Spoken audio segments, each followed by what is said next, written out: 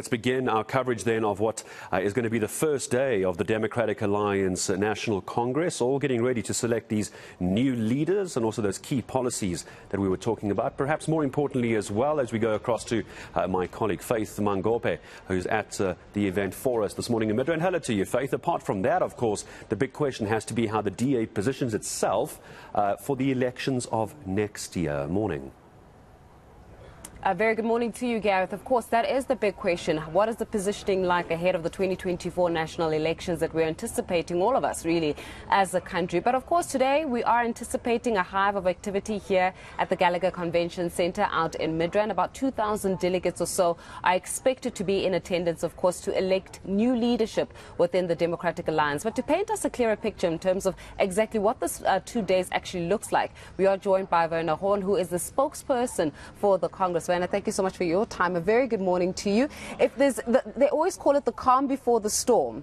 Gallagher Convention Center is absolutely dead silent at this moment in time. But of course, that is almost to speak about what are we to anticipate a little bit later on today. What does it look like? Yes, between um, 6 o'clock and 8 o'clock, as you said, just under 2,000 delegates will arrive. As a matter of fact, as I arrived this morning, there was already small groups gathering waiting for the six o'clock uh, time to start the accreditation process. Mm. Uh, from 8.30 onwards, they would, uh, as has become sort of uh, the norm within the DA Congresses, a bit of a show, a bit of a spectacle. Uh, thereafter, uh, there's the proceedings of the presiding officers informing Congress whether we are have formed a quorum. We, of course, expect to form a very healthy quorum. Um, and then uh, today, uh, uh, fairly mundane stuff in the form of constitutional amendments. Uh, uh, members, not only delegates throughout the country, had an opportunity to propose amendments to our federal constitution. Mm. Those have been debated before in an online platform, so today we'll, we will only vote on those proposed constitutional amendments. But before that, there's of course the final pitch of the uh, two candidates who will be contesting to be the federal leader sure. for the next three years. Uh, they have a final opportunity to address Congress. Uh, before the vote, which is only taking place tomorrow. So basically, they give their final pitch of why you should be voting for me. And let's talk a little bit about the status quo of the very two contenders. One is the incumbent, of course, is John Steenhuisen, and of course, yes. the other one is Dr. Mpho Phalatse, the former executive mayor of the city of Johannesburg. Yes, uh, so uh, two fairly high profile candidates. Mm. John, as you indicate, the incumbent, uh, Dr. Mpho, who um, uh, really grabbed the attention of South Africans when she was um, elected as executive mayor in unfortunate circumstances was removed while uh, trying to steady the ship in, in Johannesburg and, yeah.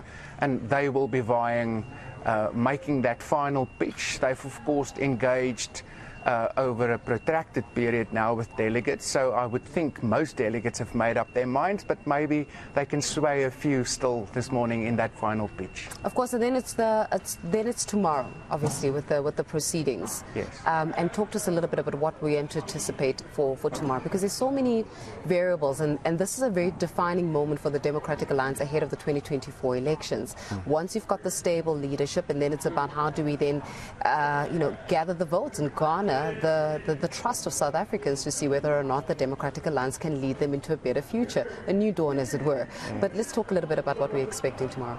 Yeah, so the, so the leadership elections will take place between 6 and 8. Mm-hmm. Uh, because it's in, uh, in an online form, the, the calculation or tabulation or determination of the outcomes will be fairly quick.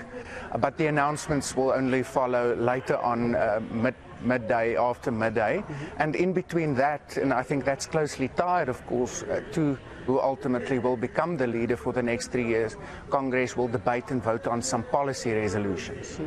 Uh, so uh, we are not a party where the leader has uh, the final say or the ultimate say about what what policy is. The leader, of course, has a very important role to play in the formulation of policy and, and ultimately election manifestos. But this Congress is the supreme policy making structure of the party, and about 43 policy resolutions will be uh, debated and voted on uh, during the course of Congress as well. And of course, the bigger um, kind of scenario here is let's talk about the leadership that goes into 2024 and that how that leadership manages to convince South Africans that this, the Democratic Alliance, is the political party of choice. Is there still concerns and sentiments within the Democratic Alliance about how uh, there's been lots of criticism about the loss of black intellectuals within the Africa, the, within the Democratic Alliance, and also looking at how the man in which they make an exit. Many people feeling as though the DA does not necessarily represent the needs of the poor, the marginalized, the black South African who's had to contend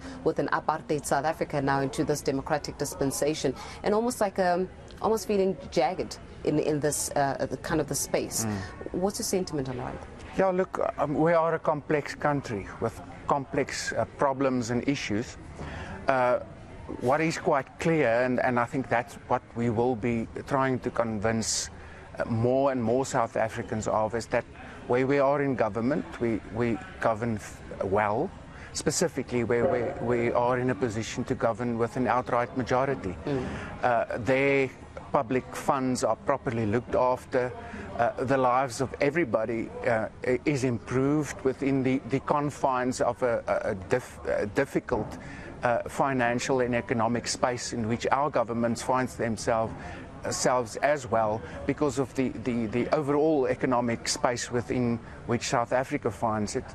Uh, so we, we, we hope, of course, uh, whoever is to be ele elected as the leader, um, to convince more and more South Africans that, that our expertise and our track record of, of looking properly after the limited funds that are available to improve the lives of South Africans must make us part of the solution after the 2024 election. Well, we're definitely going to be speaking, obviously, um, to different stakeholders within this particular Congress. It's a significant Congress because it is indeed ahead of the 2024 elections. And I think more than anything else, Werner, it's about how is it that South Africans get to look at this, have an overview, and say this is the party of choice. More will be coming through uh, from Gallagher Convention Centre.